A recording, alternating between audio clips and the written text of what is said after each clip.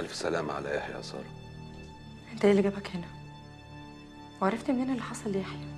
جاي أطمن على صاحب عمري وجوز مراتي أكيد أمره يهمني. ما بقتش مراتك. دي نعمة وفضل من عند ربنا. فعلا. هي نعمة وفضل فعلا.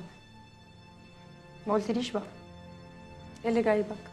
بصراحة أنا اتهزيت واتوترت قوي لما لقيتك قلقانة على يحيى بالمنظر ده. بس الحقيقة يعني على قد ما أنا اتوترت وقلقت عليكي على قد ما اتبسطت لك قوي واضح إن أنت حبيتيه خلاص. إيه اللي جايبك يا خالد؟ ما أنا لسه قايل لك. جاي أطمن على صاحب عمري وجوز مراتي. جاي تطمن ولا جاي تشمت؟ الغريب يا سارة إن 13 سنة عشرة بينا. بس الفترة الأخيرة كل ما بقابلك بحس إن أنا معرفكيش أو بحس إن أنا بشوفك لأول مرة. لو أنت الشهادة لله ما اتغيرتش لا خنت ولا هربت ولا قتلت ولا قلبت لنا حياتنا عليها وطيها. بصي إحنا أصلا من الأول ما كناش لبعض. الحقيقة هو اعتراف متأخر شوية بس هي دي الحقيقة اللي إحنا فضلنا مخبيينها عن بعض فترة طويلة. سيبك من كل الكلام الفاضي ده وطمنيني.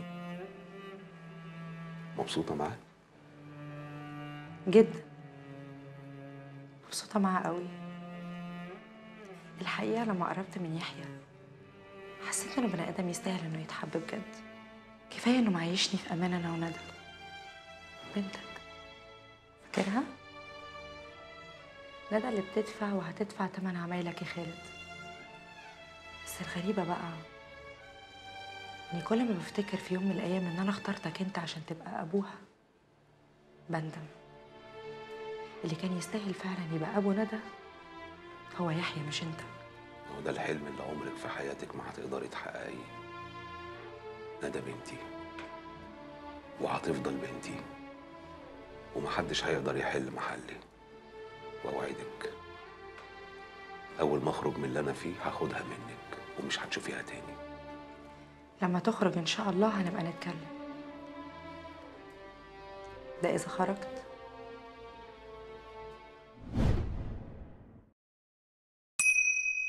اشترك دلوقتي واتفرج على كل اللي نفسك فيه. واتش ما تخليش حاجة تفوتك.